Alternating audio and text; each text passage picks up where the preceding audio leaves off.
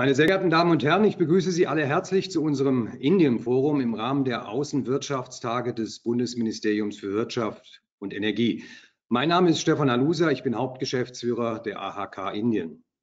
Besonders begrüße ich natürlich die Panelisten des heutigen Forums, Herrn Peter Berz, Frau Katharina Klaas-Mühlhäuser, Herrn Dr. Jürgen Mohrhardt, Herrn Puni Chadwal und Herrn Dr. Andreas Nicolin, die ich Ihnen dann gleich auch gerne noch etwas näher vorstellen werde. Zunächst habe ich aber noch ein paar äh, organisatorische Hinweise. Die Veranstaltung wird aufgezeichnet. Es wird dann später auf der AUWI-Seite ein Link zur Verfügung gestellt, damit auch diejenigen, die die Veranstaltung heute verpassen, im Nachhinein noch eine Chance haben, sich über das Thema zu informieren. Fragen können Sie jederzeit schriftlich stellen in der äh, Fragefunktion im Control Panel. Das müsste auf der rechten Seite sein. Bitte schreiben Sie dann auch dazu, an wen sich die Frage richtet. Ich werde sie dann entsprechend äh, an den Panelisten weiterleiten. Ähm, eine letzte Bitte dann noch an die Vertreter der Presse sollten heute welche anwesend sein. Ich möchte Sie noch mal an die Regelung erinnern, dass aus der Veranstaltung nicht zitiert wird. So, dann kommen wir zum eigentlichen Thema. EU-Indien-Handelsabkommen, Wunsch oder Wirklichkeit. Die Verhandlungen über ein Freihandelsabkommen zwischen der EU und Indien stocken seit dem Jahr 2013.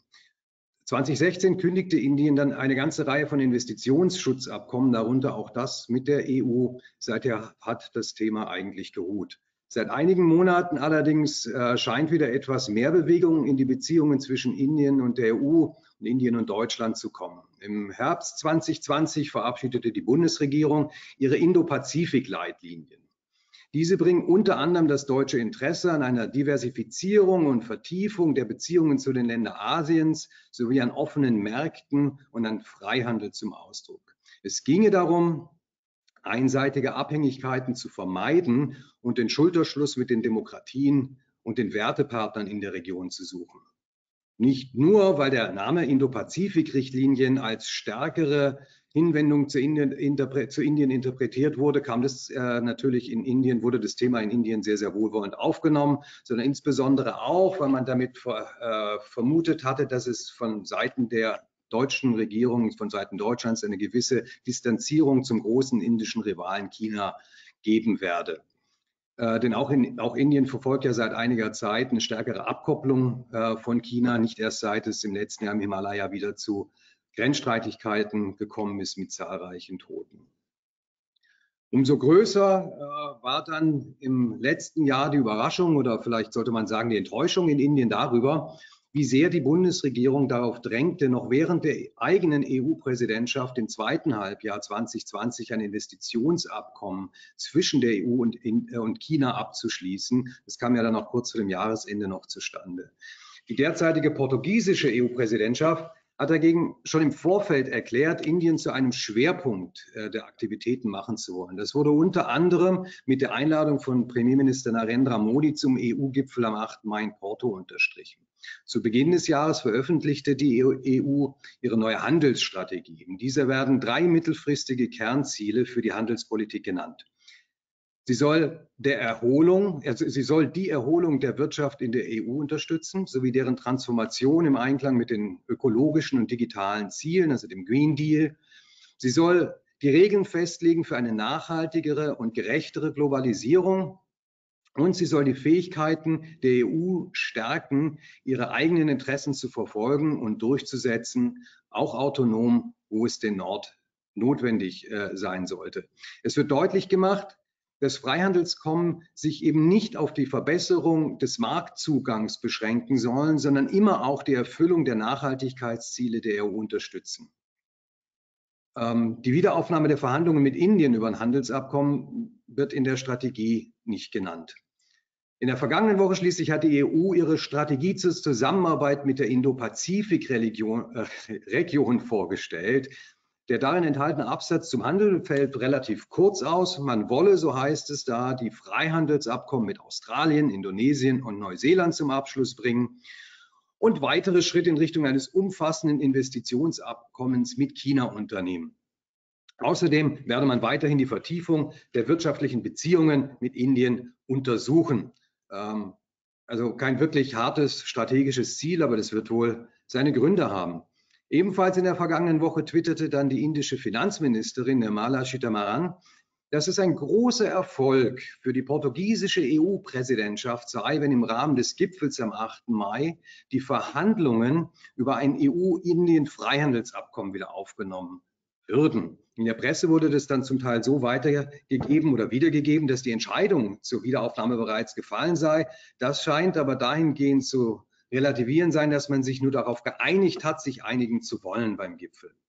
Die unterschiedlichen Vorstellungen über, über Art und Umfang des Abkommens bestehen weiterhin. Indien hat immer wieder ein sogenanntes Early Harvest Agreement ins Gespräch gebracht, das sich zunächst einmal auf Zollsenkung für bestimmte Produkte und Dienstleistungen beschränkt, sowie die Beseitigung ausgesuchter Non-Tariff Barriers. Ähnliche Vorschläge hatte Indien ja auch Großbritannien und Kanada unterbreitet, ohne dass es zumindest nach meinem Kenntnisstand bisher zu einem Abschluss gekommen ist. Gestern dann, interessanterweise, hat die Financial Times berichtet, dass im Rahmen des EU-Indien-Gipfels, der, der jetzt am 8. Mai äh, virtuell stattfinden wird, weil Premierminister Modi aufgrund der Corona-Situation in Indien das Land nicht verlassen wird und will, dass also im Rahmen des Gipfels eine Connectivity-Partnerschaft zwischen der EU und Indien vereinbart werden soll, die die Bereiche Energie, Transport und Digitales umfasst. Diese Partnerschaft soll eine Art Gegenentwurf zur chinesischen Belt and Road Initiative sein.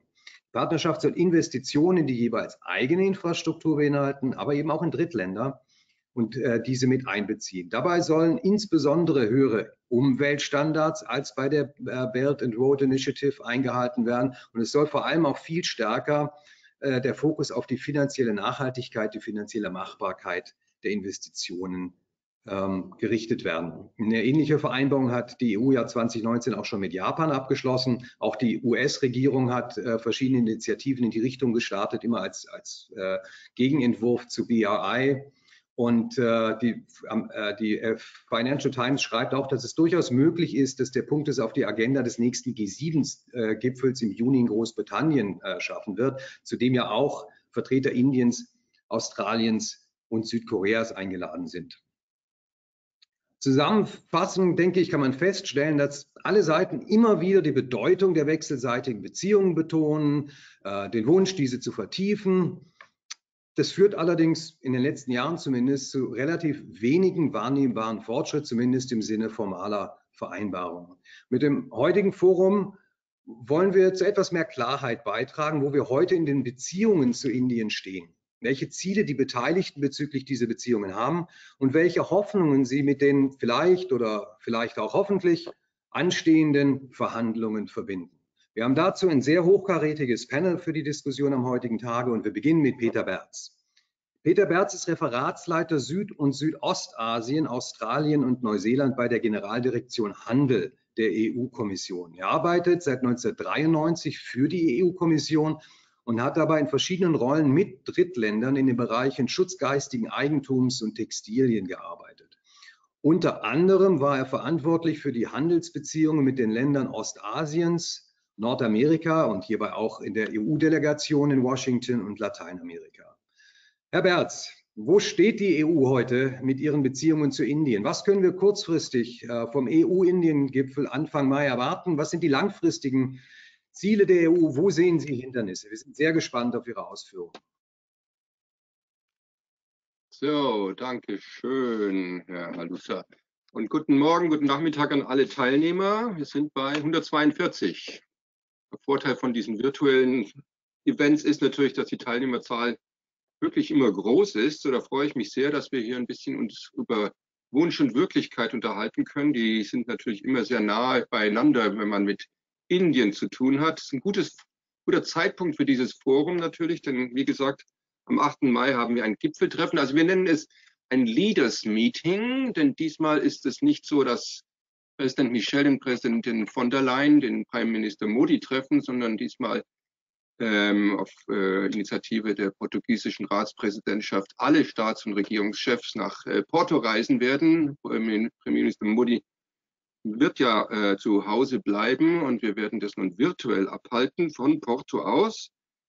Aber so ein äh, Leaders Meeting, selbst sogar mehr als ein Gipfel, erzeugt natürlich eine eigene Dynamik hier, ähm, auch im Handelsbereich. Ja. Wir haben natürlich großes Interesse, mit, äh, mit Indien, ähm, ähm, in unsere Beziehungen mit Indien zu verstärken, zu vertiefen. Ist natürlich ein großer Markt, ist aber auch ein schwieriger Markt, wie wir wahrscheinlich alle, alle wissen hier.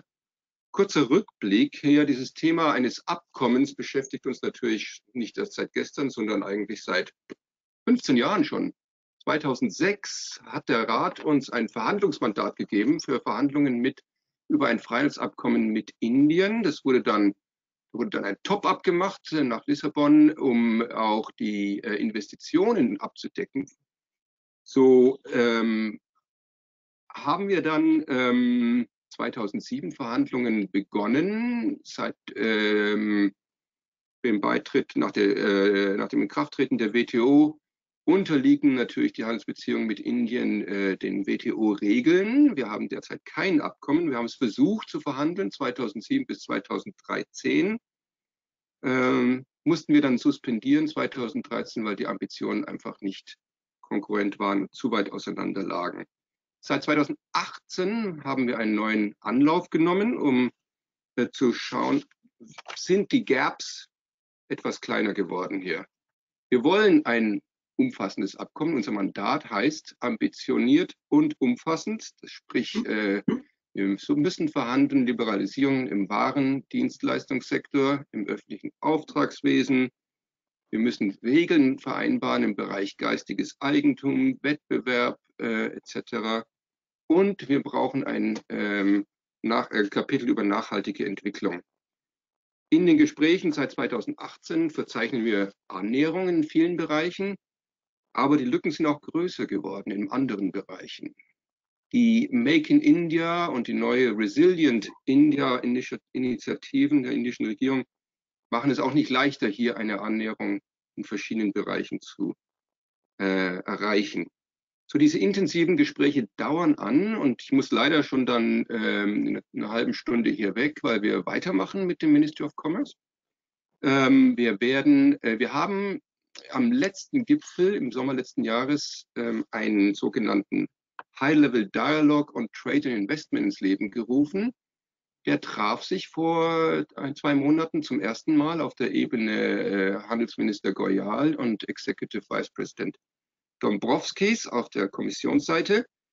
Dieser äh, Dialog, High-Level Dialog, trifft sich wieder nächste Woche, äh, um auch dann den Gipfel, ähm, das Leaders Meeting vorzubereiten.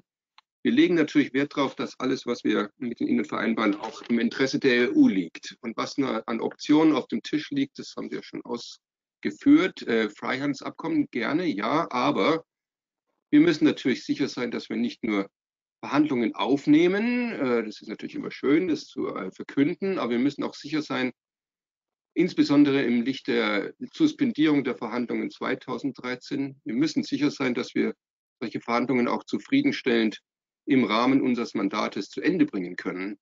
Denn wir müssen letztendlich diese, das Ergebnis durch den Rat und durch das Europäische Parlament bringen. Und die Erwartungen sind natürlich groß, insbesondere mit so einem schwierigen und großen Markt mit Indien, dass das Ergebnis im beiderseitigen Interesse liegt.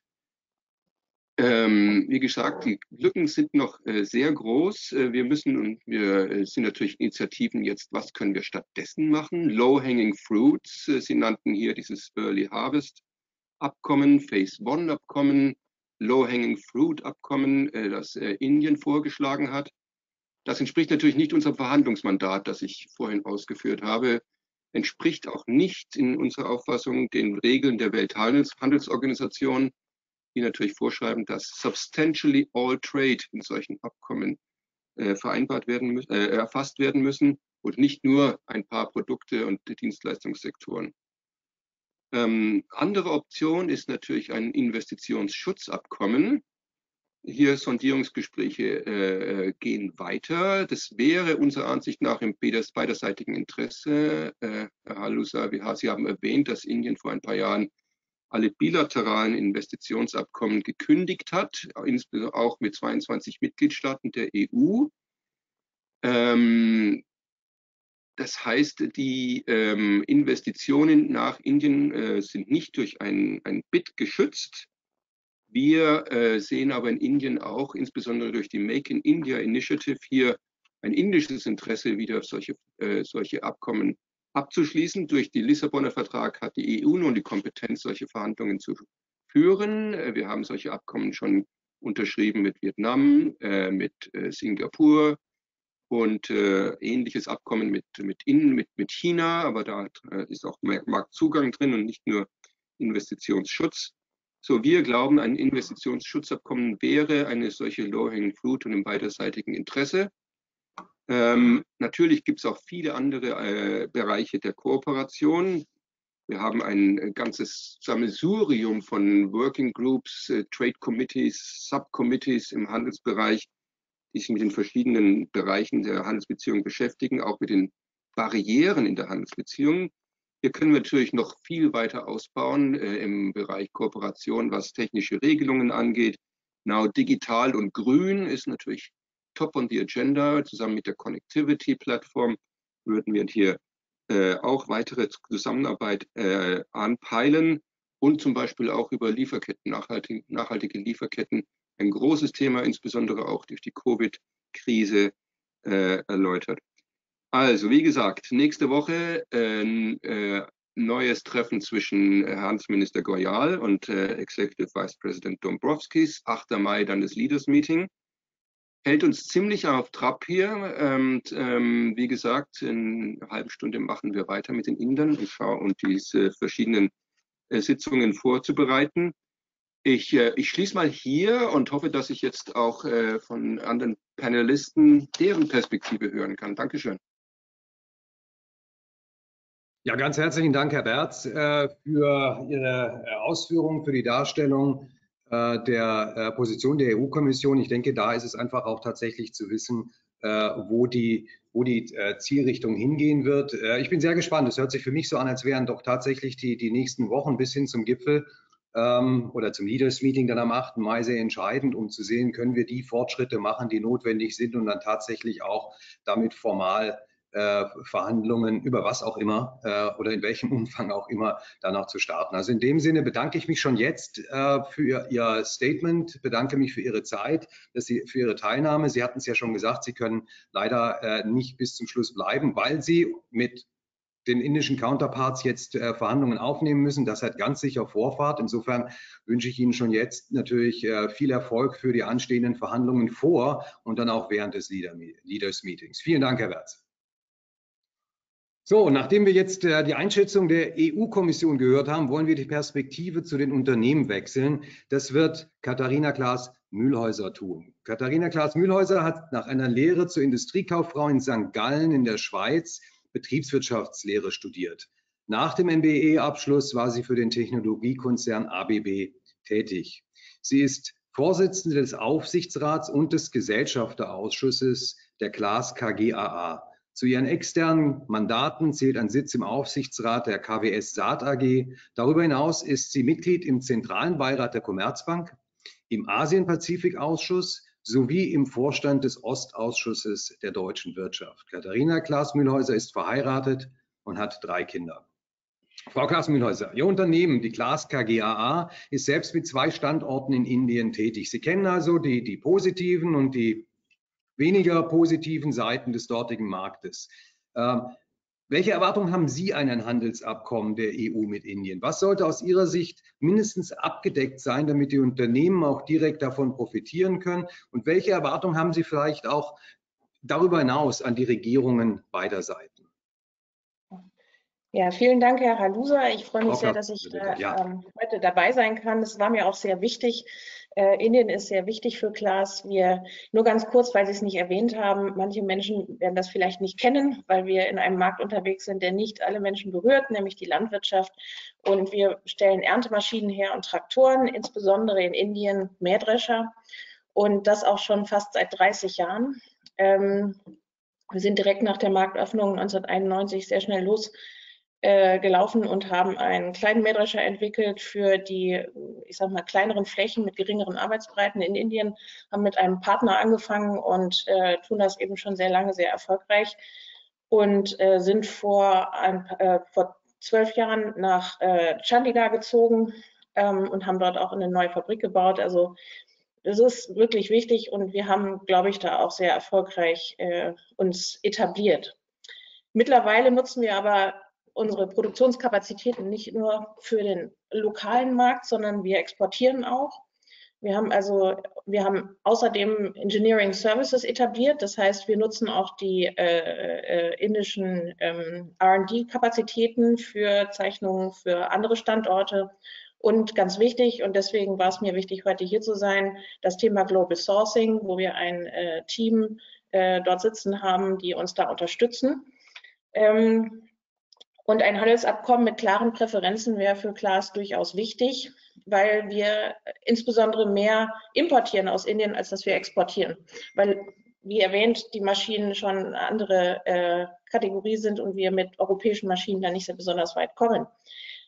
Ähm, erstmal kann ich beglückwünschen, weil Indien ist auf dem Weg zum Industrieland, auf einem sehr guten Entwicklungsweg. Und äh, die Infrastruktur ist, hat sich so extrem fortentwickelt, das äh, finde ich großartig. Und auch, dass wir jetzt dieses Mehrwertsteuersystem haben, hat sehr geholfen. Also nicht nur in der Abwicklung, sondern auch tatsächlich in der Logistik. Und das alles führt natürlich dazu, dass alles ähm, die Handelspräferenzen überprüft wurden und sich die Zollsätze erhöht haben für immer mehr Warengruppen, die wir gerne nach äh, Deutschland vor allen Dingen ausführen wollen. Ich gebe mal so ein Beispiel. Ähm, das wäre bei Reifen ähm, bei einem Einfuhrvolumen von zwei bis drei oder vier Millionen Euro für Glas, vier Prozent, das macht schon eine ganze Menge aus. Aber was ich betonen möchte, sind auch Warengruppen komplexerer Natur, zum Beispiel luftgefederte Fahrersitze. Also wir sprechen hier nicht über irgendwelche Teile, wo sich der Transport nicht lohnt. Ähm, was auch ein Thema ist, sind Ersatzteile, wo wir zwischen 7,5 und 15 Prozent Zölle sehen und den Verlust der Ursprungseigenschaft. Das ist jetzt für die äh, technisch versierteren an der Stelle. Wenn wir zum Beispiel Ersatzteile haben, die wir aus Indien in die EU einführen, jetzt haben wir ein spezielles Thema, und dann nach UK liefern und die weiter nach Irland, dann verliert es diese Ursprungseigenschaft. Das sind so Feinheiten, die aber dann an der Stelle tatsächlich eine Rolle spielen können, weil wir zentrale Ersatzteillager haben in der EU. Und äh, uns wäre natürlich ein Freihandelsabkommen am allerliebsten, aber so würden wir schon mal sehr weit, weit vorwärts kommen. Und ähm, was mir auch ein Anliegen ist, aber das hat mit dem Freihandelsabkommen nichts zu tun. Was für Waren gilt, sollte am liebsten auch für Menschen gelten. Ähm, wir sehen ja durch die Pandemie durchaus Einschränkungen, die hoffentlich, wenn die Pandemie äh, äh, in, in Griff kommt, durch Impfungen ähm, wieder zurückgenommen werden. Das muss aber auch tatsächlich mal besprochen werden und sichergestellt werden. Die Gesundheit geht vor, aber diese ähm, Freiheiten sind auch sehr wichtig, weil man kann nicht alles digital lösen. Und äh, mein letzter Punkt, ähm, um die Redezeit nicht zu strapazieren, in dem momentanen politischen Umfeld finde ich das Signal, dass die EU wieder über ein Freihandelsabkommen oder Handelsabkommen mit Indien spricht, ein Investitionsabkommen, ein unglaublich wichtiges, weil ähm, Decoupling und ähnliche Stichworte und die globalpolitische Situation mich dazu bringen zu sagen, wir müssen uns Partner suchen, um nicht zwischen den Großmächten da auch, ich will nicht sagen zerquetscht zu werden, aber wir haben alle das gleiche Interesse, Handelswege offen zu halten und meines Erachtens sind gegenseitige Abhängigkeiten nicht schlecht, sondern gut für die weltweite Stabilität. Ich würde mich sehr freuen, wenn dies zustande kommt. Herzlichen Dank.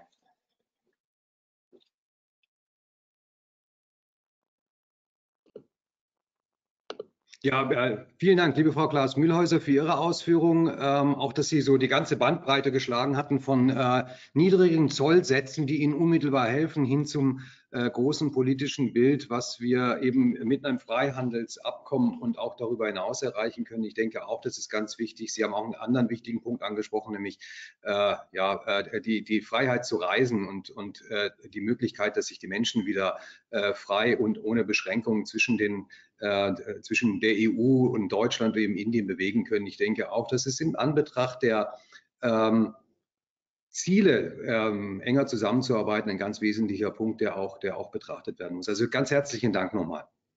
Ähm, wir bleiben bei den Unternehmen und gehen jetzt aber sozusagen mitten rein nach Mumbai. Das wird äh, Dr. Jürgen Mohrhardt für uns tun. Dr. Jürgen Mohrhardt ist seit 2016 deutscher Generalkonsul in Mumbai. Aufgrund seiner engen Beziehungen zu Indien wollte er seinen Aufenthalt in Indien gerne verlängern, was ihm aufgrund seiner Verdienste um die deutschen Beziehungen dann auch ermöglicht wurde. Nach seiner Promotion in internationalen Beziehungen hat er verschiedene Positionen im Auswärtigen Amt in Bonn und Berlin innegehabt, sowie einige Stationen im Ausland, unter anderem in Washington, äh, wo er auch schon Herrn Berz getroffen hat, äh, wie wir vorhin gehört haben, Hongkong, Tokio Afrika. Außerdem war er der deutsche Botschafter für Sri Lanka und die Malediven. Herr Dr. Mohat ist passionierter Sportler und leidet wahrscheinlich deswegen gerade besonders unter den Corona-Restriktionen hier in Mumbai. Seit Jahren vertritt er in seiner Rolle als Generalkonsulat die Interessen der deutschen Wirtschaft in Maharashtra, Chhattisgarh, Gujarat, Goa, Madhya Pradesh und einiger weiterer Unionsterritorien. Dadurch kennt er die Realität äh, vor Ort bis ins kleinste Detail. Herr Dr. Mohrhardt, aus Ihren Erfahrungen der letzten Jahre, wo drückt der Schuh bei den deutschen Unternehmen vor Ort äh, tatsächlich? Und inwieweit kann bei diesen Themen Handels- oder Investitionsabkommen helfen? Ähm, welche darüber hinausgehende Unterstützung seitens beider Regierungen ist für eine Verbesserung der Wirtschaftsbeziehungen aus Ihrer Sicht beziehungsweise aus der Sicht der deutschen Unternehmen vor Ort notwendig und wichtig? Herr Dr. Morat, bitte. Ja, ich grüße recht herzlich aus Mumbai, insbesondere meine Panelisten, Frau Katharina Klaas-Mühlhauser, alle anderen Kollegen auch, die mir zum Teil ja schon seit Jahren bekannt sind, dann natürlich alle Teilnehmer äh, die sich für dieses Thema interessieren. An Indien führt natürlich kein Weg vorbei, das wissen wir alle, deswegen treffen wir uns hier und deswegen sind wir auch Teil dieser Außenwirtschaftstage 2021. Und wir wollen ja hier nochmal der Frage einem EU-Handelsabkommen nachgehen. Für mich ist es ja ein Privileg, als Generalkonsul an, an so einem Thema mitzugehen. Normal sind EU-Handelsabkommen diese Fragen ja der höheren Politik vorbehalten, während ich ja eher der Mann aus dem Maschinenraum bin, der on the ground äh, tagtäglich praktische Probleme für die Firmen löst. Nochmal, Frau äh, Klaas-Mühlhäuser hat das jetzt zum Beispiel ausgeführt. Man muss auch nochmal wissen, wo, wie bewegt sich eigentlich Indien, will er nochmal ganz kurz sagen. Es ist natürlich eine riesige Perspektive, jetzt unabhängig von den Corona-bedingten Einschränkungen, die wir haben. Aber das Ziel der Regierung bis 2025 eine, eine Trillion US Dollar Manufacturing Economy zu werden. Dann die neueste Initiative von Prime Minister Modi, die Self-Reliant Industry aufzubauen und in der Self-Reliant zu machen von Supply Chains ist natürlich ein, eine riesige Perspektive, die natürlich von global für Unternehmen von Interesse sind, natürlich auch von Unternehmen aus der EU. Es ist natürlich auch nochmal so, Indien ist für viele deutsche Unternehmen nicht Neuland, auch nicht für Deutschland Neuland. Mein Konsulat besteht in Mumbai seit 1856, Kalkutta seit 1854. Viele deutsche Firmen sind über 130 Jahre bereits im Land und äh, arbeiten Indien eigentlich nicht als einen kurzfristigen Markt, auch wenn immer natürlich neu dazukommen, sondern alle sind hier in einem langen Atem und haben eine lange Perspektive in Indien und schauen über kurzfristige Entwicklungen eigentlich hinweg und äh, man, dass in Indien kein Weg vorbeiführt, auch wenn man nicht optimale Erfahrungen gemacht hat, zeigt beispielsweise, dass es auch Rückkehrer gibt, die schon mal Indien den Rücken gekehrt haben, wie T-System, Deutsche Telekom oder beispielsweise Enercon. Wir alle in meinem Amtsbezirk befinden sich über 40 Prozent der, der deutschen Investitionen. Es sind alle Branchen vertreten und mit denen bin ich natürlich ständig im Gespräch. Und natürlich ist ein Abkommen, ein Freihandelsabkommen, egal wie das ausbuchstabiert seid, in welcher Breite, natürlich immer von Vorteil. Na, das ist ja vollkommen außer Frage, weil ein Freihandel regelt natürlich einen größeren Marktzugang für, für, den, für den Markt, insbesondere auch in Richtung EU. Für, aus indischer Seite, und hier möchte ich eine Zwischenbemerkung machen, was ist nochmal das Interesse der, der indischen Firmen oder der indischen Regierung an EU? Wir konnten hier schon etwas 2019 feststellen, ein wiederermachtes Interesse Indiens allgemein, der indischen Wirtschaft am EU-Wirtschaftsraum. Dieses Decoupling, die Einschränkung, Abschränkung, Abschottung einiger Märkte, Handelsdifferenzen und politische Differenzen zwischen China und US haben plötzlich EU als Wirtschaftsraum einen neuen Stellenwert gegeben. Der hat sich bei uns wiedergeschlagen, indem wir in einer Antragsflut, in einer Tsunami an Business Visa nach Deutschland im Prinzip und ertrunken sind. Ne? Das war also eine ganz interessante Entwicklung, alles praktisch früher bis, bis Ende 2019. Und wir konnten feststellen, dass viele, die damals die Visa bei uns beantragt haben, zuvor überhaupt noch nie in der, im EU und im Schengen-Raum war. Aber das war eine ganz normale Reaktion, denn aus indischer Perspektive ist natürlich die EU global gesehen der einzige große Wirtschaftsraum neben China und USA, aber der einzige große Wirtschaftsraum, der nie probiert hat, Einschränkungen und Marktzugangsbeschränkungen einzugehen und natürlich auch keine Politikansätze jetzt irgendwo äh, in petto oder im Ärmel, im Ärmel hat. Wir sind also wirklich überflutet worden, insbesondere Deutschland, weil wir natürlich Nummer ein Standort sind an, an Messe, Messeplatz. Und wir konnten, wie gesagt, damals die, die allen Visa gar nicht gerecht bedienen. Natürlich, Covid hat jetzt eine andere, äh, eine, eine andere Wirkung entfaltet, äh, wie das ja auch schon angesprochen wurde. Aber die Attraktivität aus indischer Sicht äh, Europas hat, hat äh, glaube ich, aus meiner, aus meiner praktischen Erfahrung hier enorm zugenommen. Und es ist vollkommen klar, natürlich, natürlich jedes Freihandelsabkommen birgt einen besseren Marktzugang. Und wir wissen, auch wenn natürlich der europäische Markt für, für indischer Seite und die Investitionen dort von größerer Bedeutung sind, dass natürlich das europäische Potenzial in Indien bei weitem nicht ausgeschöpft sind. Und hier kann natürlich ein, ein Freihandelsabkommen äh, nur nur einen Push geben und einen Boost geben. Und äh, da gibt es ja also wirklich Voraussagen, um wie weit das passieren wird. Da liegen ja Zahlen auch, auch der EU und, und, und anderen vor. Und ob es dann zu einer Verdopplung des, äh, des Handelsaustausches innerhalb von zehn bis zwölf Jahren kommt, muss man natürlich abwarten. Es gibt natürlich auch viele, auch viele unterschiedliche Sektoren. Aber weiterhin ein, ein FTA würde natürlich für Indien auch eine, eine Kostenreduzierung von Einfuhren bringen, weil natürlich viele der, der Produkte, Frau, es wurde gerade angesprochen von Frau Frau Klaas auch, Frau Klaas-Mühlhäuser, dass natürlich viele der, der äh, Produkte, sei es Ersatzteile, sei es Zulieferung, sei es äh, Halbproduktwaren, äh, Zöllen unterliegen, die, in, die äh, die deutschen Unternehmen in eine nicht adäquate Wettbewerbsposition bringen, jetzt mal im Vergleich zu, zu, ähm, zu Firmen aus Ländern wie Japan oder Korea, die ja gewisse Markteingangsvorteile haben. Dann geht es natürlich, auch die Hoffnung ist natürlich, dass ein FTA, ein Freihandelsabkommen natürlich auch non-territ, äh, also nicht tarifäre Handelshemmnisse beseitigen möge. Auch hier gibt es eine ganze Reihe von, von Problemen, ähm, die, die deutsche Firmen und europäische Firmen in der Vergangenheit getroffen haben. Ich erinnere nur an auch kurzfristige Anti-Dumping-Measures, äh, dann Licensing und Registration von Firmen und Produkten. Das hier, also erwartet man sich auch viel. Insgesamt würde ein FTE natürlich auch den Produktionsstandort Indien für europäische Firmen stärken, weil eigentlich die Firmen dann hier eine größere Wettbewerbsfähigkeit gewinnen würden, einfach durch eine Verringerung ihrer Kosten und natürlich auch Vereinfachung ihrer Geschäftsprozesse. Ich bin dann nochmal auch der Frage nachgegangen, jetzt mit den Firmen hier so ungefähr, was sind jetzt die, äh, die, die Vorteile oder wie sehen die, die deutschen Firmen hier das? Und habe da mal gefragt, was ist denn jetzt wirklich dringlich für euch, für die Firmen, die jetzt hier sind? Und dann kann ich sagen, da mein, ist mein Fact-Finding so gewesen, alle sagen ungefähr nice to have, na, nice to have. Aber es gibt natürlich Dinge, die durch ein Freihandelsabkommen interessanterweise nicht regeln lassen können. Und das sind natürlich beispielsweise die Verlässlichkeit langfristiger Politikansätze Indiens. Ne? Das sind natürlich die Probleme, die alle, alle Firmen umtreiben. Da geht es von dem Local Content Standards zu den Industriestandards, die geändert werden, die regionaler Natur sind. Da gibt es die unheitliche Subventionspolitik innerhalb Indiens. Dann gibt es kurzfristige Politikansätze, wie beispielsweise die kurzfristige Anti-China-Politik, wo dann auch zum Teil deutsche Unternehmen, die über Tochterfirmen in Hongkong hier agiert haben, plötzlich als chinesisches Unternehmen klassifiziert werden. Dann äh, fehlt eine verlässliche Anwendung der Zollsätze und Steuerpolitik. Kurzum, es geht den meisten Firmen darum, einfach um Verlässlichkeit in der Politik und, und Vorhersehbarkeit der, der langfristigen äh, Wirtschafts- Wirtschaftsentwicklung dann auf diesem, auf diesem Gebiet.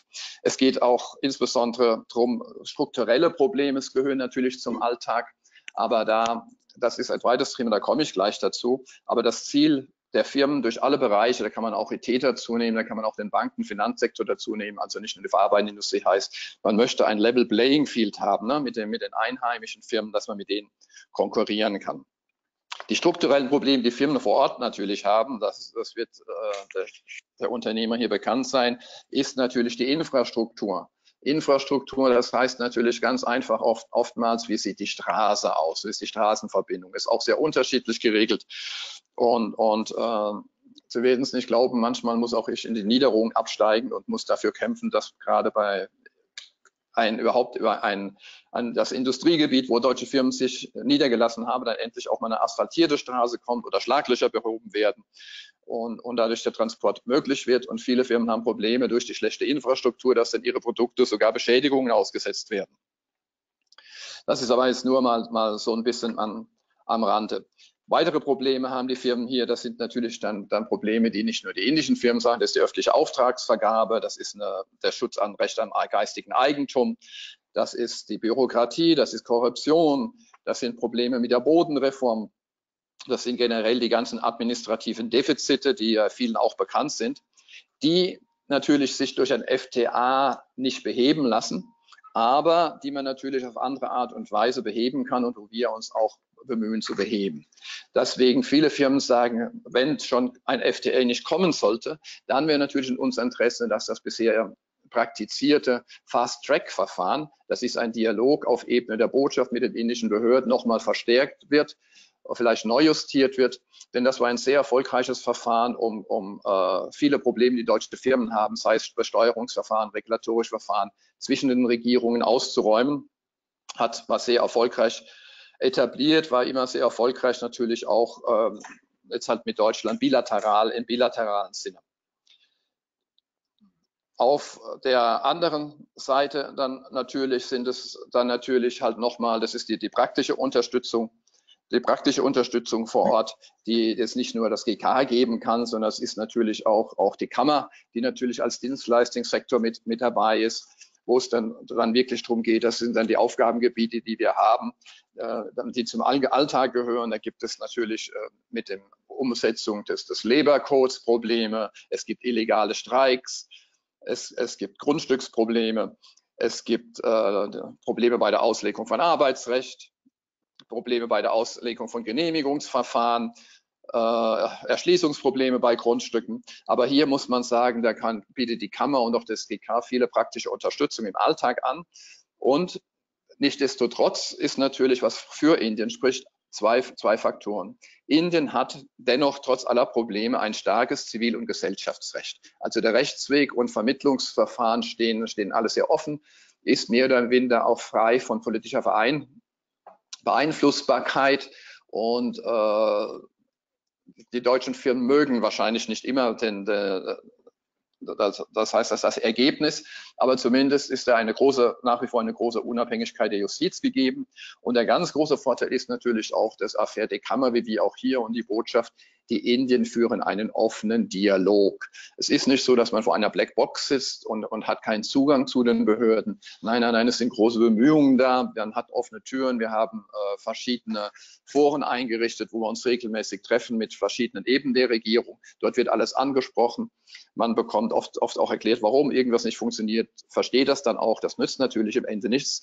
Aber das ist natürlich auch nicht in jeder, jeder Gesellschaft so vergeben, gegeben. Nochmal abschließend natürlich, nochmal für die Unternehmen zumindest hier, ein FTA ist nice to have, aber ansonsten gibt es viele andere Probleme, die, die für aus Ihrer Sicht wichtiger sind, hier zu lösen, die dem MSIL dienen, dass Sie ein Level Playing Field haben mit allen anderen. Dankeschön. Ja, vielen Dank, Dr. Mohrhardt, ähm, ähm, für die, die, die ähm, tatsächlich detail- und kenntnisreichen Ausführungen zu dem, was hier äh, vor Ort passiert. Ich habe nochmal zwei wesentliche äh, Themen mitgenommen. Ich denke, die sind auch wichtig in dem Zusammenhang.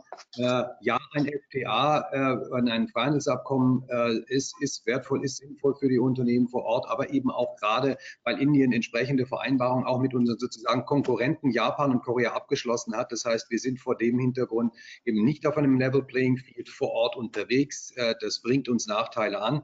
Ein, äh, ich habe äh, den Ausführungen aber auch entnommen, dass es äh, durchaus nicht unerhebliche weitere Probleme gibt, die alle nicht äh, durch ein Freihandelsabkommen gelöst werden können, wo es dann einfach darum geht, vor Ort jeden Tag mit den äh, mit den Behörden und mit den Beteiligten auf beiden Seiten zu arbeiten, habe aber auch zum Schluss äh, mitgenommen die Aussage, dass dafür eine Offenheit da ist. Das heißt, es wird sicherlich äh, eine Zeit in Anspruch nehmen, aber es gibt zumindest den Wunsch, auch hier die Dinge tatsächlich zu verbessern. Also ganz herzlichen Dank nochmal, Dr. Moratek. Gerne geschehen. Ähm, ja, wir bleiben in Indien, wir bleiben auch in Mumbai, ja, aber wechseln nochmal die Perspektive. Bisher haben wir vor allem durch die deutsche Brille auf die indisch-deutschen Wirtschaftsbeziehungen geschaut.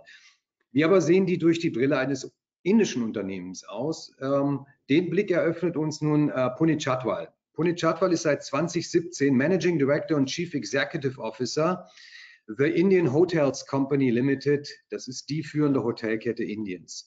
Zuvor war er CEO der Steigenberger Hotel AG sowie Chief Development Officer der Resida Group Carlson Hotels Worldwide. Herr Chatwal ist Absolvent der Delhi University und des Institute of Hotel Management Delhi und er hat darüber hinaus ein MBA in Hospitality der ESSEC Paris. Herr Chatwa ist schon angesprochen worden, die EU ist der wichtigste Handel, Handelspartner Indiens und ist äh, nach den USA auch der größte Exportmarkt Indiens. Innerhalb der EU wiederum ist Deutschland der größte Handelspartner. Dennoch sind sich alle Beteiligten einig, dass es da durchaus noch äh, äh Luft nach oben gibt. Was müsste aus Sicht der indischen Unternehmen geschehen, um den Markteintritt indischer Unternehmen in Deutschland beziehungsweise in Europa zu erleichtern. Was wünschen Sie sich äh, von einem Handelsabkommen oder auch darüber hinaus von einer Vereinbarung zwischen der EU beziehungsweise Deutschland und Indien? Herr Chapa, bitte.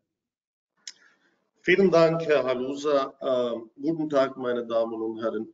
Ähm, ich, bevor ich zu dem Thema komme, also eigentlich möchte ich äh, darüber was sagen, was Dr. Morhardt gesagt hat. Äh, er hat am Anfang gesagt, an Indien fährt kein Weg vorbei. Zwischendurch hat er gesagt, es gab ein Tsunami von Business Visum. Und dann hat er im Detail dargestellt, was für Herausforderungen, Challenges, Schwierigkeiten gibt, hier in diesem Land zu führen. Indirekt hat er das bestätigt, was wir alle hören. Indien ist der größte Paradox dieser Erde. Also es, egal was man sagt, das Gegenteil ist auch wahr. Und das war so, äh, musste ich schmunzeln, als ich die Rede gehört habe. Und wie Herr Halusa gesagt hat, ich habe 28 Jahre fast in EU verbracht und äh, die andere Hälfte, die andere 28 Jahre in Indien. Und da kann ich sagen, dass äh, Indien ist eine ewige Chance, insbesondere seit zehn Jahren. Und die indischen Unternehmen können nur von die Struktur, von den Management-Expertise von Deutschland oder von EU profitieren. Äh, was Indien anbieten kann, ist super Fachkräfte, das Ausbildungsniveau hier ist sehr, sehr gut, äh, teilweise besser als irgendwo äh, anders auf der Welt. Die Bevölkerung ist sehr jung, sodass man auch äh, mit Fachkräften äh, Austausch äh, anfangen kann. Äh, grundsätzlich sind Menschen fähig, viele Sprachen zu sprechen, sodass für den Deutsch oder Französisch oder eine andere Sprache zu lernen, sollte nicht so schwer sein äh, im Vergleich zu anderen Ländern, wo man nur eine Sprache spricht. Die Investitionsfähigkeit von Indien ist auch sehr, sehr stark. Äh, das ist auch ein Paradox. Es gibt hier sehr arme äh, Menschen, aber es gibt auch sehr, sehr reiche Leute, sehr, sehr reiche Firmen, die auch in Deutschland und auch in EU vertreten sind. Äh, und seit Jahrzehnten hat Indien zum Beispiel sehr viel in Großbritannien investiert. Aber die Chance, äh, und wenn diese Awareness entwickelt wird, äh, ich bin ziemlich davon überzeugt, dass indische Firmen auch in Europa investieren werden. Äh, man sollte verschiedene Business Models sich vorstellen, aber vielleicht in dem Short Term sollte man sehr viel an Joint Ventures denken für alle möglichen Probleme, die Dr. Mohardt vorgestellt hatte, dass man mit einem lokalen Partner das besser bewältigen kann im Vergleich zu alles alleine zu machen, aber man kann das auch alleine machen. Ähm, was Herr Berz am Anfang sagte, ja, das stimmt. Einige Sachen wie Resilient India oder Make in India war vielleicht das Gegenteil, was man hören wollte, aber ich finde das als eine Chance. Man sollte hier die Regierung in ihre Vision stärken und da ein Formell finden, wie man Business leiten kann, damit man die sogenannten Low-Hanging Fruits schneller greift. Ähm, ich denke, die indischen Firmen können äh, sehr viel anbieten. Sie können Infrastruktur anbieten, vielleicht nicht an der Straße, das ist ja sowieso ein Chaos, äh, wenn man äh, in Deutschland gelebt hat. Aber Infrastruktur, weil sie alles haben. Sie haben die Fabrik, sie haben, sie haben das Grundstück, sie haben die Möglichkeit zum Geld, ähm, die Schulen, die Unis, alles ist ja da. Und ähm, man kann vielleicht das benutzen, wie man mit dem bestehenden Struktur äh, diese Traum von Resilient India oder Make in India benutzen kann, um eine Win-Win zu schaffen. Äh, was indische Firmen sicherlich äh, bringen können, wie ich gesagt habe, ist Fachkräfte, können auch Investitionen bringen. Äh, und ich denke, was Asien insgesamt profitiert von, äh, das war zumindest meine These immer. Also Marketing von Amerika, Management von Europa, aber das emotionale äh, Denken, emotionale Intelligenz kommt aus Asien. Und wenn man die drei kombiniert, ist es eine, eine super Kombination, von dem äh, jeder profitieren kann. Ähm, das nur zum, zum Einleiten, Herr Halusa. Also, aber ich denke, wenn wir weiterreden, kann ich noch konkrete Sachen sagen. Äh, aber insgesamt kann ich nur sagen, das ist eine Riesenchance, weil dieses Land wird in zehn Jahren ganz anders aussehen und so wie es auch jetzt anders aussieht als vor zehn Jahren. Also vor zehn Jahren war Indien nicht da, gerade nach der Finanzkrise auf der Welt, wo es heute steht. Und ich kann es auch äh, ich finde das auch so, dass, äh, weil ich hier nicht gearbeitet habe, 28 Jahre lang und jetzt erst seit dreieinhalb Jahren, äh, die Chancen, die Möglichkeiten sind alle da, trotz der Schwierigkeiten, weil es nicht einfach ist, 1,3 Milliarden Menschen in Demokratie mit verschiedenen Religionen, Sprachen zu führen. Aber das ist genau wieder ein Paradox, was dieses Land sehr, sehr interessant äh, macht. Und äh, ich finde in dieser, äh, wie die Frau Müllhaus auch sagt, auch politisch gesehen, äh, wenn man an die, an die Großmachten äh, denkt, das ist ganz wichtig, enger zusammenzuarbeiten. Nur so kann ein Wunsch oder ein Traum die Wahrheit werden, was auch unser Thema heute ist. Vielen Dank. Ja, ganz herzlichen Dank, äh, lieber Herr Chatwal, ähm, für, die, für die indische Perspektive. Vielen Dank auch ähm, natürlich da noch mal ein bisschen einen, einen, einen positiven Tenor reinzubekommen in unsere Diskussion darüber, welches Potenzial wir sehen. Und äh, ich glaube, wir sind uns alle einig darüber, dass ähm, Indien in den letzten 10, 15 Jahren eine enorme Entwicklung durchgemacht äh, hat und äh, dass ganz sicher Indien in zehn Jahren anders aussieht und aussehen wird, als es heute ist. Äh, zwei Aspekte habe ich jetzt mitgenommen, vielleicht können wir die später tatsächlich noch etwas vertiefen. Einmal das Thema Fachkräfte.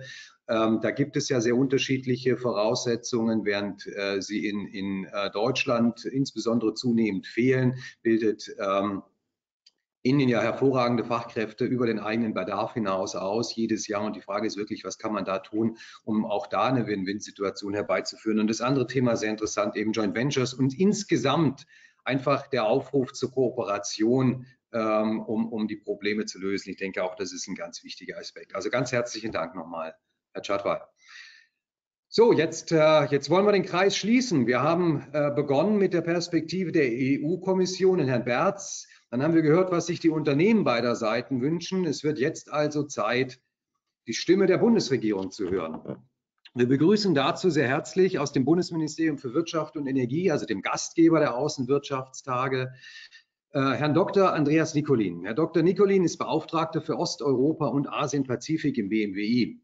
Er hat in Bonn Mathematik studiert und anschließend sein Master in Economics an der London School of Economics absolviert, bevor er dann in München seine Promotion ablegte. Er startete seine Laufbahn 1998 beim Bundesministerium für Wirtschaft und Technologie, wie es damals noch hieß, Es folgten Stationen unter anderem bei der deutschen Vertretung bei der EU, bevor Herr Dr. Nicolin dann 15 Jahre in verschiedenen Funktionen im Kanzleramt tätig war. Unter anderem als Referatsleiter Außenwirtschaft und bilaterale Wirtschaftsbeziehungen sowie stellvertretender Gruppenleiter für nationale und internationale Wirtschaftspolitik. Seit Mitte 2017 zurück im BMWI ist er seit dem 01.01.2018 Leiter der Unterabteilung Außenwirtschaftsförderung und Beauftragter für Asien, Australien und Neuseeland. Herr Dr. Nicolin, mit der Verabschiedung der Indo-Pazifik-Leitlinien durch die Bundesregierung im vergangenen Herbst ist die Erwartung geweckt worden, dass es in einem gewissen Umfang zu einer Refokussierung der deutschen Politik beziehungsweise der politischen und wirtschaftlichen Beziehungen Deutschlands mit den Ländern der Region Indo-Pazifik kommen wird. Was ist seither geschehen? Welche praktischen Folgen haben diese Leitlinien in Bezug auf Indien beziehungsweise welche werden sie haben? Und dann noch am Ende die Frage natürlich auch, für wie realistisch halten Sie es, dass es beim EU-Indien-Gipfel zur Aufnahme formaler Verhandlungen eines Handelsabkommens oder eines anderen Abkommens zwischen der EU und Indien kommen wird? Herr Dr. Nicolin, bitte. Ganz herzlichen Dank, ähm, Herr Luser, für die, für die Einführung und ähm, ich ähm, bitte nochmal Verständnis, dass ich etwas später in die Veranstaltung gekommen bin, weil ich äh, heute Morgen noch einen ähm, Termin mit unserem Minister wahrgenommen habe. Ähm, von daher kann es jetzt auch sein, dass ich einiges wiederhole, was die Vorredner schon gesagt haben. Ähm, ähm, ich hoffe, es wird nicht allzu starke Überlappungen geben. Ich glaube, wenn man hier in Deutschland äh, von Indien spricht, da denkt man äh, in erster Linie an die Pandemie, äh, wo sich ja die Lage in Indien jetzt am aktuellen Rand sehr verschlechtert hat und das erfüllt uns natürlich mit Sorge.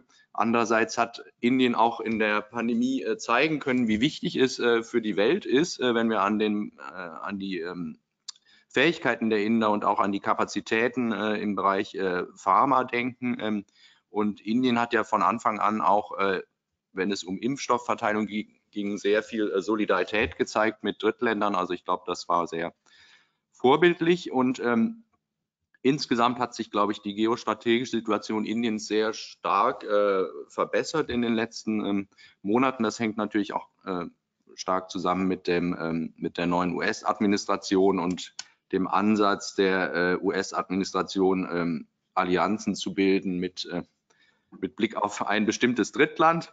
Ähm, und ähm, das wirtschaftliche Potenzial Indiens, das wurde ja jetzt schon verschiedentlich äh, angesprochen. Ähm, das ist natürlich klar, dass das, äh, dass das sehr groß ist und überhaupt ähm, Südasien, Südostasien ist ja eigentlich seit einiger Zeit auch die, ähm, der dynamischste äh, Wirtschaftsraum äh, weltweit.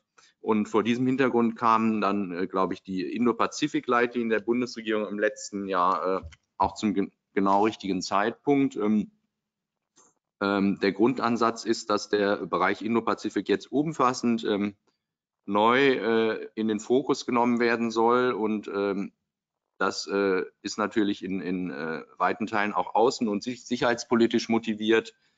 Äh, aber als zweite Säule auch, ähm, auch der Bereich der Wirtschafts- und, und Handelspolitik. Und ähm, das ist natürlich ein, ein äh, ein relativ abstrakter, aber dennoch, dennoch sehr wichtiger, wie ich finde, äh, Ansatz. Ähm, es geht auch nicht um, um die Abwendung von irgendwelchen äh, äh, Partnern, äh, die, die vielleicht bis jetzt ähm, äh, ziemlich dominant waren. Es geht eher um eine Art ähm, Rekalibrierung äh, unserer Beziehungen zu den Ländern der Region oder vielleicht etwas näher an der, an der Sprache jetzt der Wirtschaft um Diversifikation. Ähm, und dabei ist Indien sicher zentral. Einmal, weil wir hier noch äh, Nachholbedarf haben im Bereich der, der wirtschaftlichen Beziehungen und gemessen am Potenzial und zweitens auch, weil Indien ja wirklich auch ein Wertepartner ist. Es wurde vorhin auch hingewiesen auf das, das funktionierende Rechtssystem. Das sind ja auch, ist ja auch ein, äh, ein Faktor, der, der in der Region nicht, ähm, nicht selbstverständlich ist. Ähm, ich glaube, es ist auch das Interesse der deutschen Wirtschaft in Indien spürbar gestiegen in letzter Zeit. Das, ähm, das hört man immer wieder, wenn man, wenn man mit der Wirtschaft spricht.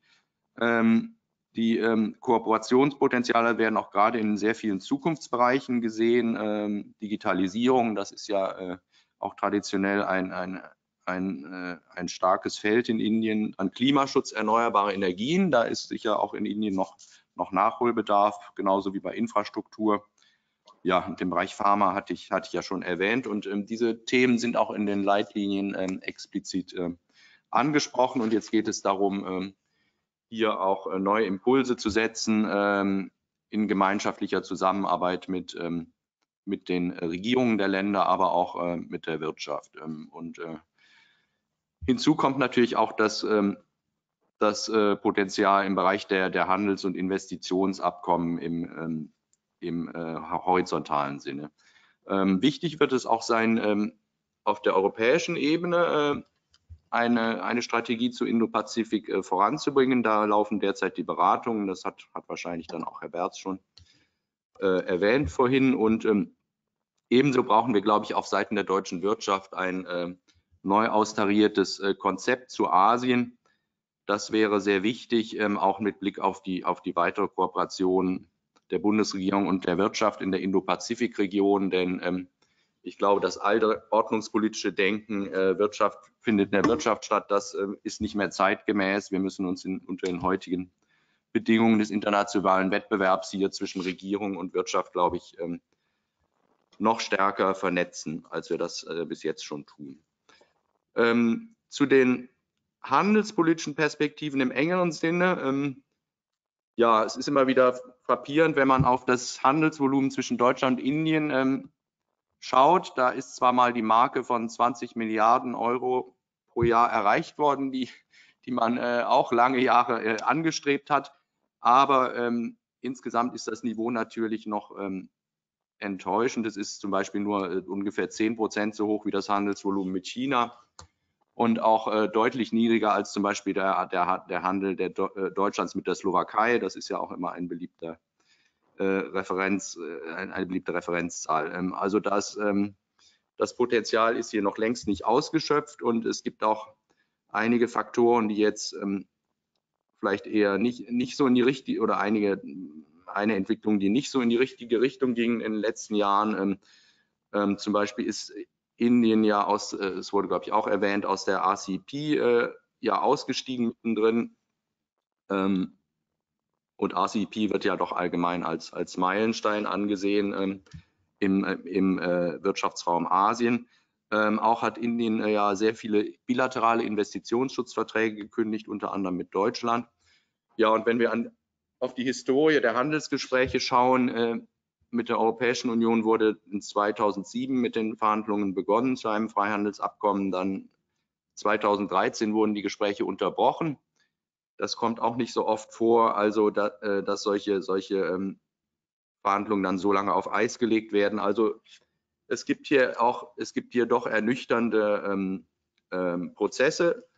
Ähm, Demgegenüber steht das große Potenzial oder auch die, die ewige Chance, wie eben, eben äh, so pointiert gesagt wurde. Also insgesamt gibt es jedenfalls, kulminiert das bei dem Freihandelsabkommen in einem sehr großen Druck zur Wiederaufnahme der, ähm, der äh, Gespräche und ähm, das ist ja auch aus Sicht der Bundesregierung sehr wünschenswert. Aber ähm, wie kann man jetzt diese Gespräche wieder äh, in Gang bringen an, angesichts der doch sehr gemischten äh, Erfahrungen? Dazu hat sicher auch Herr Berz vorhin äh, vorgetragen. Ich glaube, ein guter erster prozessualer Schritt war, dass man jetzt äh, ein, einen High-Level-Dialog zwischen der Europäischen Union und ähm, Indien etabliert hat. Der ist ja sehr äh, relativ hochrangig auf der Ebene von ähm, äh, Exekutiv-Vizepräsident Dombrovskis und ähm, Minister Goyal auf der indischen Seite. Und der, der wird auch nächste Woche erneut äh, tagen im Vorfeld des europäisch-indischen Gipfels äh, am 8. Mai. Ähm, und auch in äh, Berlin werden wir Ende Mai, ja, in Berlin ist ein bisschen, vielleicht ein bisschen irreführend, also Ende Mai werden wir virtuell aus Berlin, aus unserer Perspektive, einen, einen äh, Regierungsgipfel mit, mit der indischen Regierung haben, sodass es also jetzt äh, äh, doch viele Möglichkeiten gibt, um die äh, Freihandelsgespräche auch auf der politischen Ebene wieder in Gang zu bringen. Aber damit das auch dann funktioniert, brauchen wir, glaube ich, sehr präzise ähm, Commitments äh, ähm, beider Seiten, damit diese wahrscheinlichen äh, politischen Signale dann auch, auch praktische Folgen haben. Äh, und umgesetzt werden können. Ähm, das ist ja eine, eine, ein Ansatz, der sich bei China äh, mit Blick auf das Investitionsabkommen ähm, auch als Herausforderung gestellt hat. Ähm, dort gab es auch jahrelang äh, wenig Bewegung, aber am Ende ähm, ist man dann doch äh, zueinander gekommen. Ähm, also so eine ähnliche Herausforderung sehe ich jetzt auch hier mit, mit Indien und möglicherweise könnte wie im Fall von China auch, ähm, auch bei Indien ein Investitionsabkommen im ersten Schritt ein guter Ansatz sein. Das hat äh, Herr Berz sicher auch vorhin vorgetragen. Ähm, äh, da laufen auch Gespräche mit der indischen Seite. Ähm, gleichzeitig soll aber natürlich die Perspektive eines echten Freihandelsabkommens ähm, erhalten bleiben. Das ist auch ähm, eine Linie der äh, eine europäische Linie, die von der Bundesregierung ausdrücklich unterstützt wird. Und ähm, das ist auch an dieser Stelle ein Unterschied zu, äh, zu äh, China. Ähm, Richtig ist auch aus meiner Sicht die, ähm, die Position der deutschen Wirtschaft, die äh, gesagt hat, ähm, die Perspektiven eines Freihandelsabkommens mit Indien müssen wir ganz klar an, an der erwartbaren Substanz beurteilen. Ähm, dies auch vor dem Hintergrund der Enttäuschung, die es in der Vergangenheit gab. Und leider muss man ja sagen, wenn man mit der indischen Regierung spricht, da ja, kommt immer noch so ein bisschen ein äh, ein geringer, wie soll ich sagen, ein geringes, ähm, ein geringer politischer, ein geringer Willen einfach zu, zu Öffnung ähm, zum Vorschein. Ähm, da ist sicher dann auch auf der indischen Seite noch ein Umdenken erforderlich und ähm, im ersten Schritt jedenfalls ähm, echte Signale, dass man an substanziellen Fortschritten interessiert ist. Das ist möglicherweise, so wie ich skizziert habe, auch ein bisschen äh, der indischen Verhandlungsstrategie äh, geschuldet, aber der indischen Seite muss, glaube ich, klar sein, dass, ähm, dass ohne echte Signale jetzt ein, ein Neustart schwierig werden dürfte. Also das ist ein bisschen die Situation, vor, vor der wir stehen. Ähm, der Ausgang ist nicht ganz, ähm, ganz äh, abzusehen. Aber wir hoffen jetzt äh, erstmal ähm, auf ein gutes Dokument und einen guten Verlauf des ähm, EU-Indien-Gipfels und werden dann versuchen, auf der bilateralen deutsch-indischen Ebene bei unseren Regierungskonsultationen den Prozess ähm, noch weiter zu beschleunigen. Das, das war es vielleicht mit der Freihandelsperspektive aus meiner Sicht und jetzt ähm, freue ich mich auf die ähm, weitere Diskussion. Vielen Dank. Ja, ganz herzlichen Dank, Herr Dr. Nicolin, auch nochmal für die Zusammenfassung und äh, die Beleuchtung der ähm, Situation aus Sicht der Bundesregierung, äh, da würde, würde ich gerne eine Frage vielleicht noch ganz kurz anschließen. Sie haben die Regierungskonsultationen Ende äh, Mai erwähnt. Ähm, ist da schon absehbar oder können Sie dazu äh, schon was sagen, was wir da eventuell an konkreten Ergebnissen auch erwarten dürfen? Oder ist es abhängig im Wesentlichen von äh, auch dem Verlauf der Gespräche ähm, am 8. Mai mit der EU? Also da kann ich natürlich den jetzt den äh, letzten äh, Gesprächen, die da laufen, äh, noch nicht so richtig vorweggreifen, aber es ist, ähm, es ist da eine intensive Abstimmung im Gange und ähm, ähm, es sind auch äh, Schwerpunkte der Zusammenarbeit definiert worden, ähm, entlang der Stichworte, die ich vorhin, ähm, vorhin auch genannt hatte, also sprich ähm, Digitalisierung, äh, Klimaschutz, erneuerbare Energien, Infrastruktur, vor allen Dingen vielleicht auch äh, mit, äh, mit dem Eisenbahnbereich als, äh, als, als besonders wichtigen äh, Sektor der Zusammenarbeit. Ähm, und ähm, natürlich versuchen wir auch äh, den, den Freihand, das Freihandelsthema dort voranzubringen, ähm, da allerdings natürlich ein bisschen im, im Geleitzug der, ähm, der europäischen Bemühungen. Ähm, von daher ist da noch eine, eine gewisse Offenheit im Moment gegeben. Alles klar. Vielen Dank, ähm, Herr Dr. Nicolin. Ähm, ja, wir haben tatsächlich äh, im Moment bis jetzt äh, genau eine ganze Frage aus dem Publikum und die in, äh, richtet sich im Wesentlichen an Herrn Berz. Also insofern äh, ist es äh, offensichtlich äh, eine leere Schnittmenge, die wir da haben. Insofern würde ich äh, äh gerne noch mal ein, zwei Fragen stellen, würde gerne beginnen mit äh, Frau Klaas Mühlhäuser. Sie hatten, Sie sind ja auch Mitglied im Vorstand oder Sie sind Mitglied des APA, des Asien-Pazifik-Ausschusses der deutschen Wirtschaft. Wie trägt dieser denn der gesteigerten Bedeutung Indiens Rechnung? Gibt es da, ja. gibt es da konkrete Initiativen? Danke, Herr Loser. Ich bin ganz froh über die Frage, weil, wie gesagt, das ist so einer der Gründe, warum ich hier sitze. Wir hatten doch durchaus mehrere Sitzungen in den letzten drei Monaten als vorher und haben uns intensiv mit diesen ganzen Themen, die uns da anspringen, insbesondere Decoupling und so weiter, beschäftigt. Auch mal erwägt, wie ähm, wie sich das auswirkt auf die deutsche Wirtschaft, jetzt ganz konkret, ne, was, was da auf uns zukommt und wie man dem auch entgegentreten kann. Jetzt vielleicht ganz kurz für jeden, der nicht genau weiß, wo der Asia-Pazifik-Ausschuss aufgehängt ist. Das ist eine äh, Regionalinitiative des, des BDI als Dachverband. Da sind also alle Industrien auch drin gebündelt.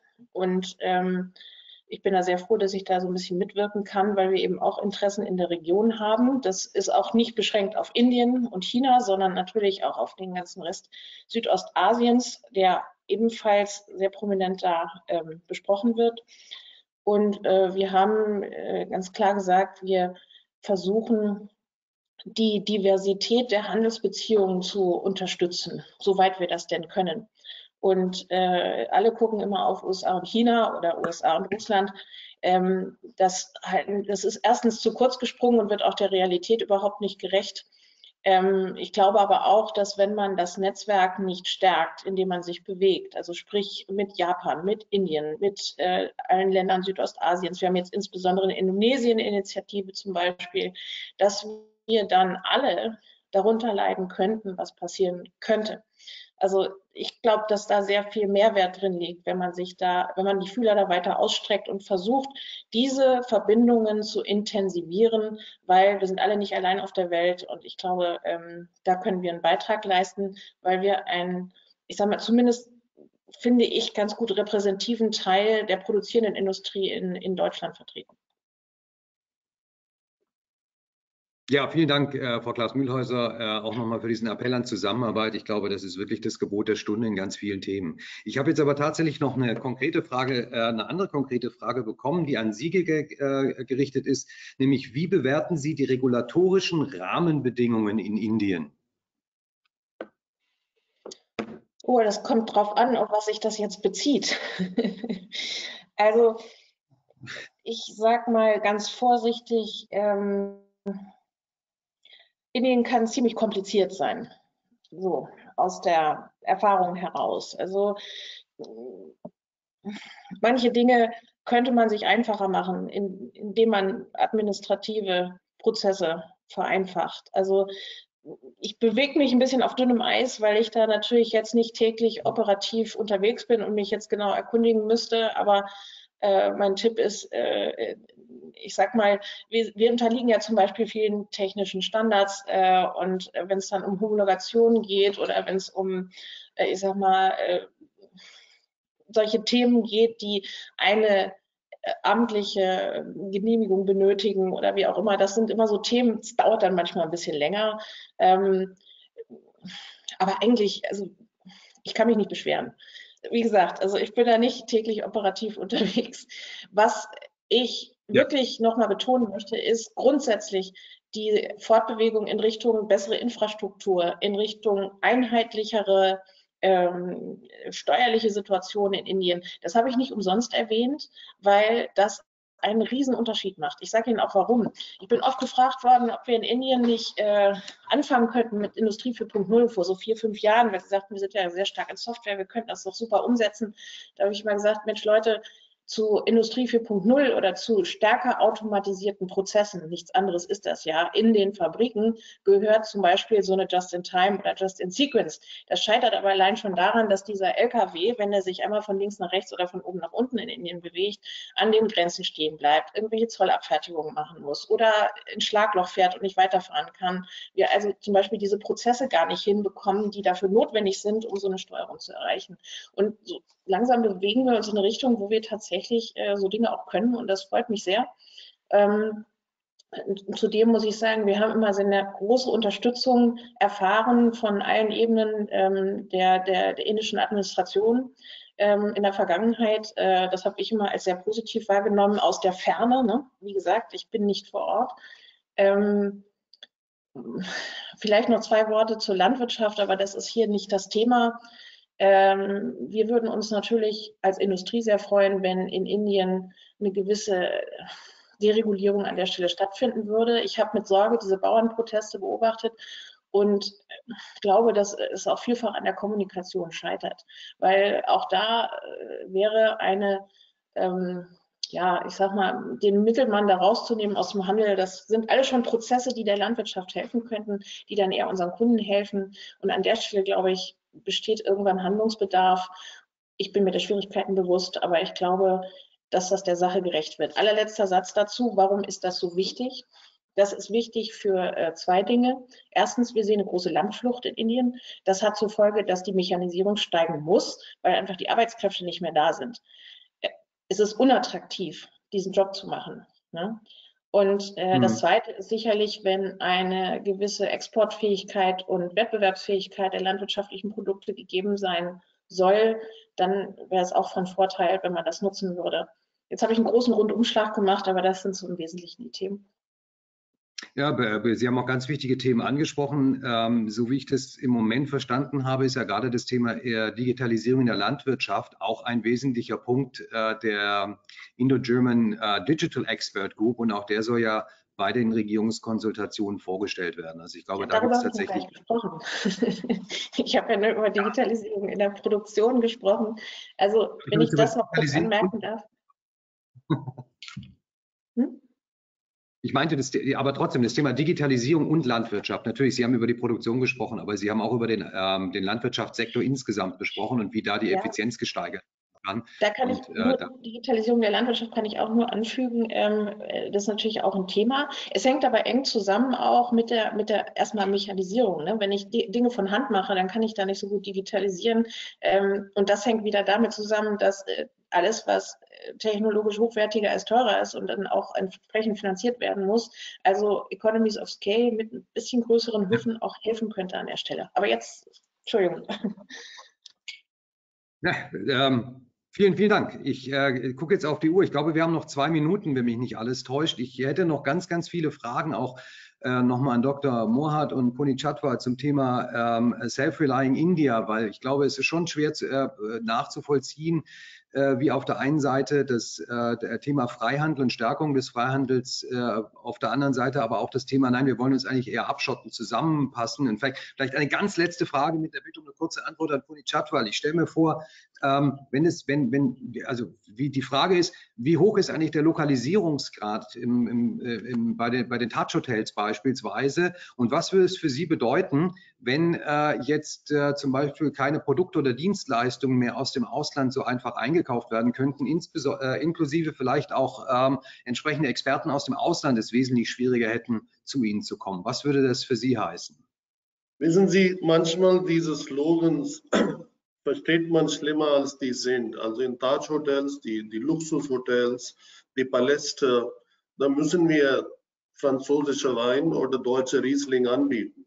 Das Gleiche gilt für Käse und das Gleiche gilt für die Art und Weise, wie man äh, mit vielen Produkten arbeitet.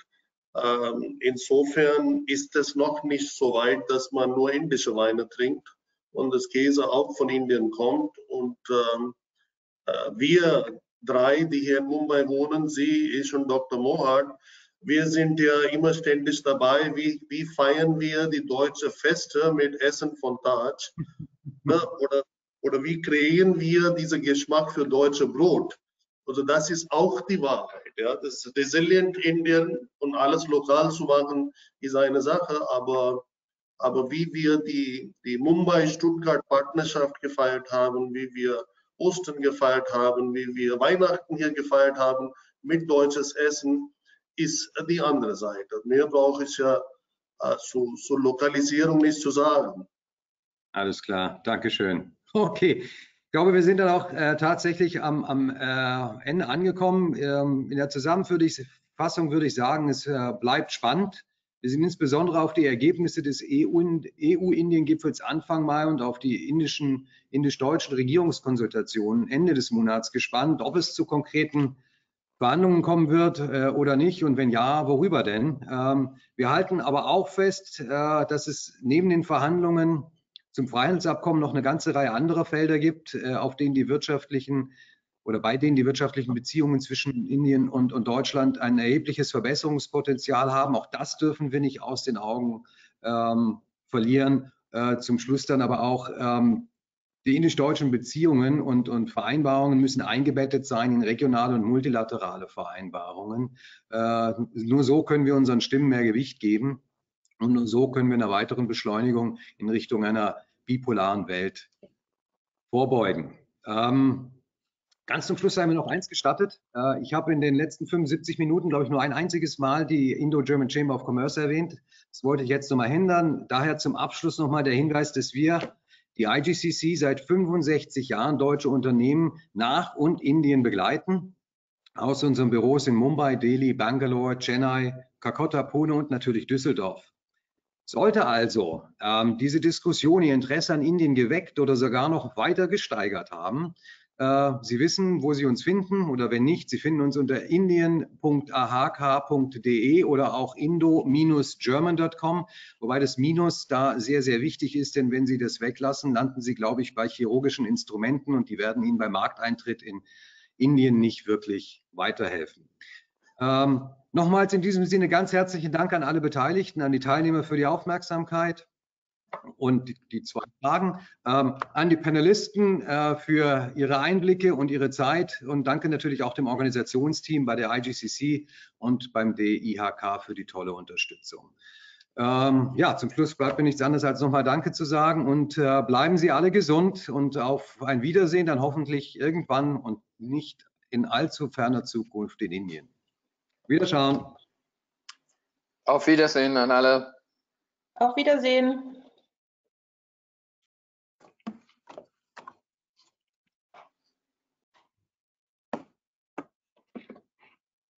No.